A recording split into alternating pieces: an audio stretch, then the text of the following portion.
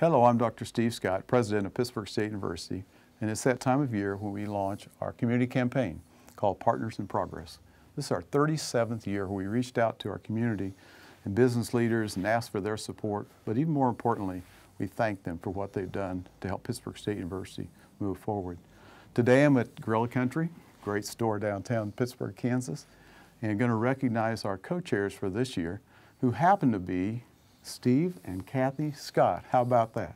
So we're really pleased that they've, uh, they've helped us over the years with a lot of good support here in Pittsburg with, with uh, USD 250. I know you've done a lot of things there within the community. You've been great supporters, and you've been great partners with Pittsburg State University. So we're pleased today to never done this. I've never made a presentation to Steve Scott, but this Yes. is kind of cool. Yeah, I never got one from Steve There you go. either, yes. So this is kind of cool that we can ask, we, we can say to you, thank you for your support. Thank you for being really the face of our campaign this year Mm-hmm. and what you've done for the university and what you'll continue to do. So with that, I'll present you with this plaque, and uh, it's kind of cool.